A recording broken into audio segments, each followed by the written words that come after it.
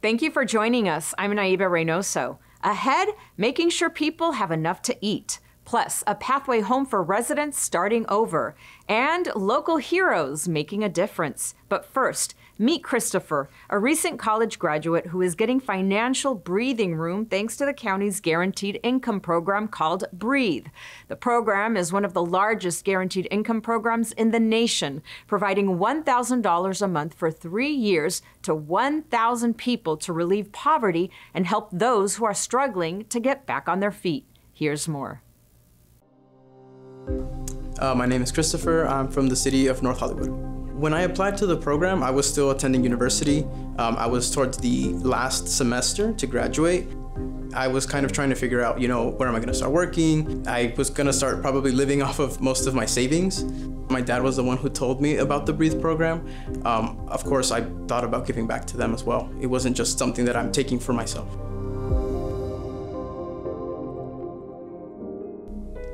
Uh, we had found out that there was a cancerous tumor on my mom's uh, left side breast, and she had to stop working for a while. My dad was left with a lot of the bills just himself. That extra money pretty much supplemented what my mom wasn't making at the time, and being able to kind of help my dad and not leave all the costs just to him. It was just just kind of out of the blue, and it was just it was just really scary for all of us, and, and it really changed the way that I guess we we see life now. Yeah, I mean, I'm just kind of happy that everything turned out okay, and you know, things are looking things are looking up right now. Yeah, things are looking much better. Being a part of the Breathe program, it, it leaves me room to just breathe and, and focus on the things that are really important in my life, the things that I value.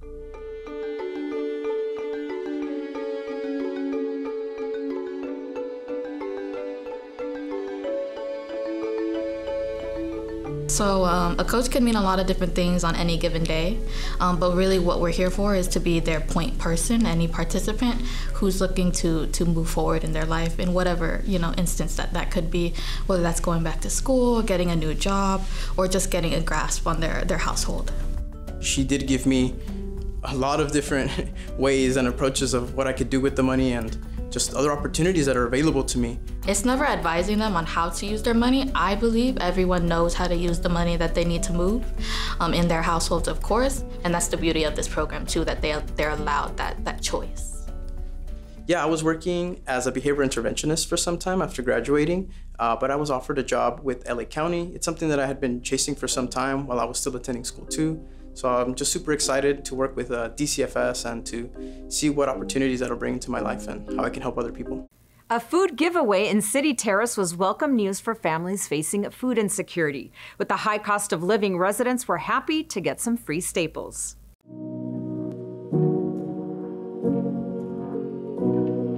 Today we're at City Terrace Park and we're going to be giving out a thousand boxes of food stuff, nutritious items for families.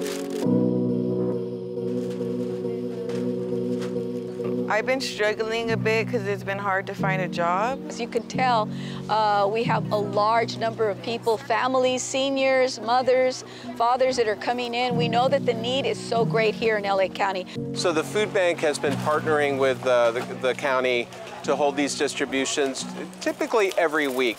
Uh, so we move to a different part of the county, a different supervisorial district pick, uh, help me through to, to, another rainy day. I mean, the food is good, you know, I know food banks is very good and, you know, it's gonna help us, you know, eat good. I'm looking forward, hopefully, to like some fresh fruit and vegetables and something with the life on the shelf and to, like, to take it home to my kids.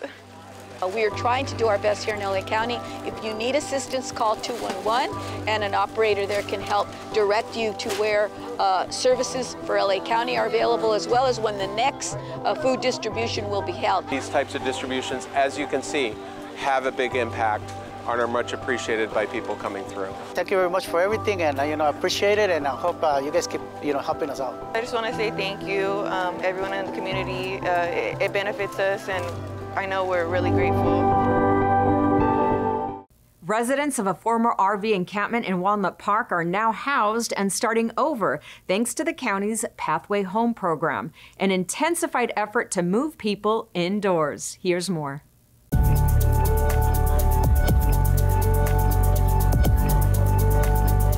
I'm so proud to be a member of the county family um, and to be a part of really creating, as the program is aptly named, Pathway Home for fellow Angelenos. Very proud of uh, the role the RV encampment pilot is playing as a part of Pathway Home because our goal has always been to make sure Angelenos who are unhoused, who find themselves in RVs, all of which are not habitable, to allow them to, once they relinquish that, to transition into temporary housing, then permanent supportive housing. That's a part of the whole vision around Pathway Home. We partner collaboratively with LAHSA, our partners. Um, we are a co-response model to all of our homeless encampments. We do outreach together to get to know the individuals and to come up with a, uh, what the best process is for the person experiencing homelessness.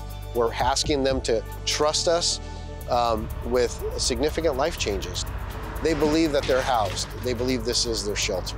Um, these are not dwellings. This, it's in the name. It's a recreational vehicle. Most of us get them to go out and have fun. This is not fun living in the inner city trying to survive. I'm Holly. Hi, I'm, I'm Katrina. Nice to meet you. Tina. Thank you, Tina. Thank you. Thank you.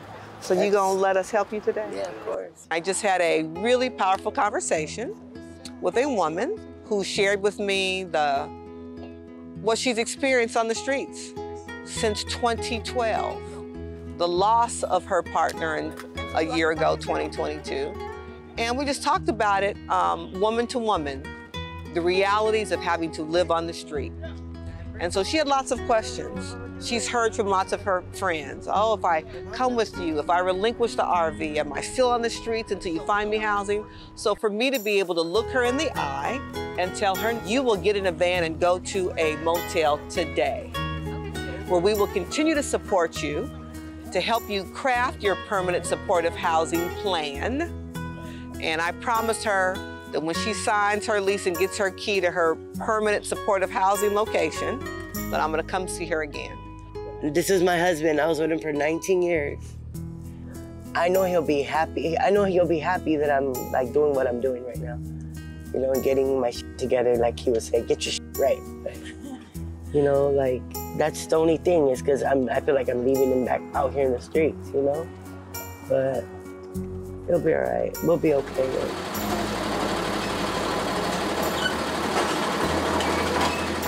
The recreational vehicles are often inoperable. They may not be safe for people to be living in. Um, it's a very, very difficult living situation.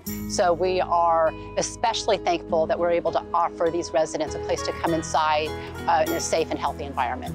I believe this is going to be a successful um, encampment ex- removal experience today, uh, and I'm proud of the work of the county and all of our nonprofit partners.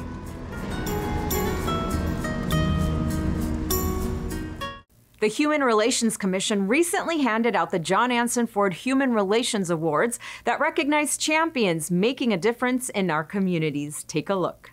Can we combat violence and hate with peace and love? ¿Se puede? Sí se puede. Sí. Since 1972, the annual John Anson Ford Human Relations Awards have identified and honored human relations champions each year. The people that we are recognizing today are people, organizations, leaders who are really leading with love. I think that just goes to show the power of this commission, the power of their recognition, and what it means uh, to call forward people in our community who are doing the work day in and day out, which may not uh, always get the recognition that it deserves. So we take moments like this to honor those who continue that work, whether people are watching or not, they're there doing the hard work to uplift those who are most vulnerable in our county. Unions, civil rights, voting rights, uh, fighting against discrimination are all those things wrapped up in what these individuals who are receiving these special honors represent. The Asian Youth Center has been speaking directly to the community, better understand the impact of pandemic fueled hate. New Way of Life's Testify program, providing us a powerful way to understand formerly incarcerated women, which is so important to better understand and battle the, anti- the racist policies of our past and to create better anti racist systems for transformative justice. GALAS LGBTQ plus Armenian society has been with us countering the destructive stereotypes that especially now are targeting schools and communities. Sanemos Juntos project of Orale, helping so many in our communities to heal those hurting from the onslaught of anti-immigrant hate. HE Arts, Heart, using the power of performing arts to promote diversity and better human relations. I'm also very inspired uh, by the commission for honoring a good friend and comadre of mine, and that's our good friend, our co-founder of the United Farm Workers, Dolores Huerta. Before I start with uh, remarks from my mother, I just want to thank you all so much on behalf of my family for uh, bestowing this wonderful recognition upon my mother. I look forward to working with the Commission on LA versus hate and all their programs so we can achieve the human rights of justice, equality, and inclusion that we all deserve.